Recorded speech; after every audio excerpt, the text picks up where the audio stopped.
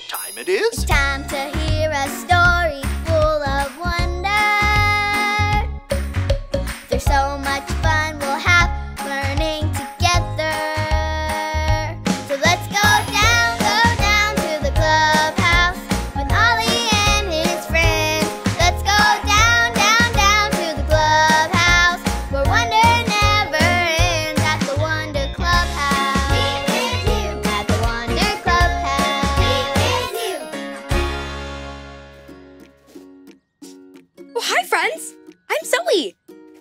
basket, I have something super. Do you want to see what's inside? Okay, first we have super gloves. You think that's cool? I also have a super mask and super boots. But you look at that.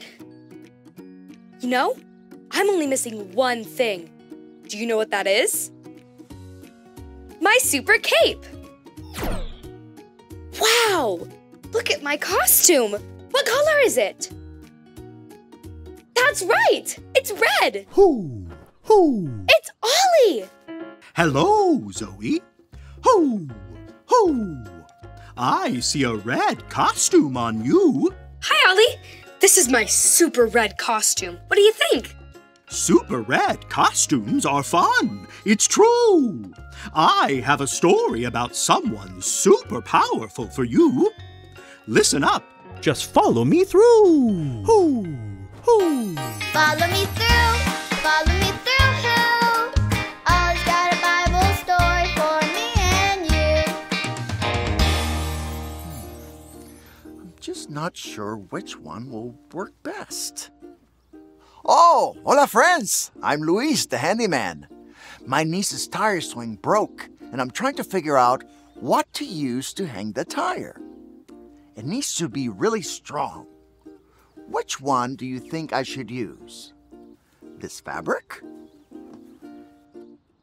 This yarn? Or this rope? I think you're right. This red rope will work the best. Say, that reminds me of today's story. Do you want to help me build it? Great! Hammers up, little builders. Ready? Uno, dos, tres, hammer! Great job, little helpers. You can put your hammers down. Now, we just need our story tools.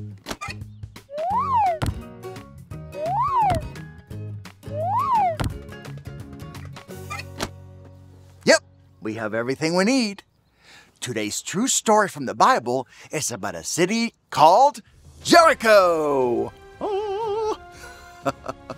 and this man, Joshua.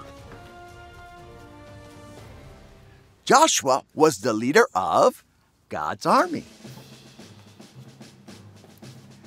Joshua sent two spies to explore the city of Jericho.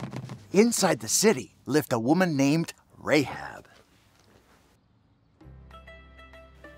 Rahab heard how powerful God is. She believed in the great things God had done, and that made her strong and courageous.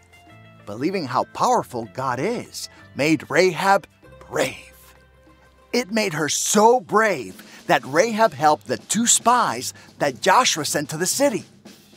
Rahab let the spies hide in her house because so many soldiers in the city were looking for them. And if the soldiers knew that Rahab was hiding the spies, she would be in big trouble. But Rahab knew that the spies were friends of God, so she wanted to help them anyway.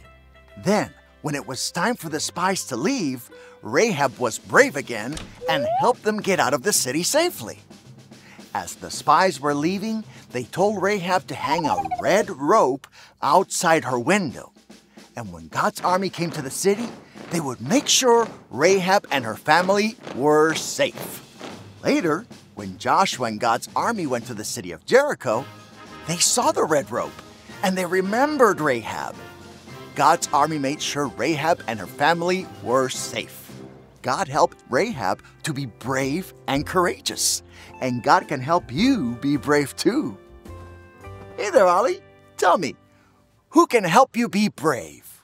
God can help me be brave. Yes, it's true. Now let's hear it from you.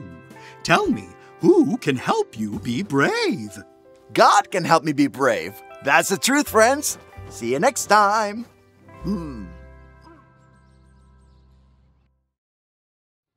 So there's your story, and it's all true. We can be brave and courageous because God is powerful. Ho!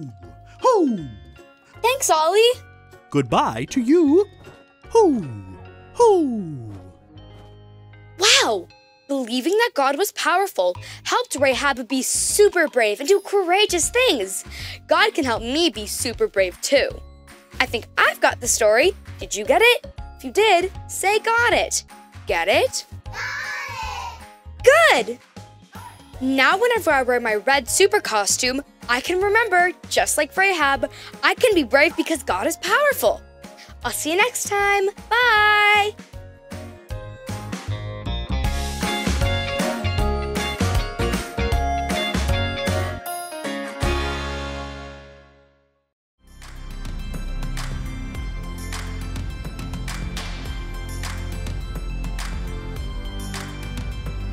Be strong and courageous.